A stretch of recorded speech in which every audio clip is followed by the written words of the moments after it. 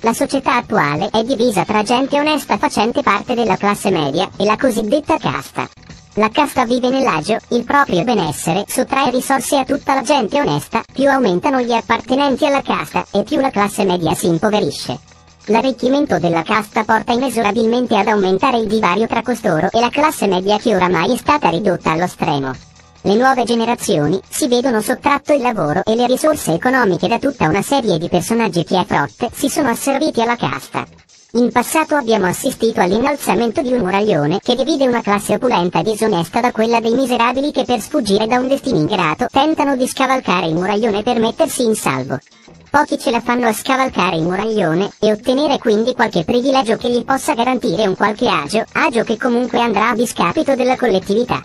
Chi fa parte dei privilegiati non vuole cedere l'osso, di conseguenza il popolo degli oppressi si sta organizzando per abbattere il muro e creare una società equa e solidale.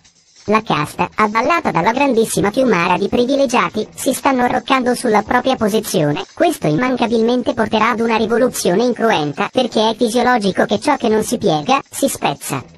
Le vittime della società sono ridotte alla disperazione non per propria colpa, ciò che rivendicano è il rispetto dei diritti costituzionali, la distribuzione del lavoro in maniera equa tra tutti e la cancellazione di ogni beneficio che permetta al singolo privilegiato di arricchirsi, perché un arricchimento avvallato da regole corporative è un crimine che sottrae risorse a tutta la collettività.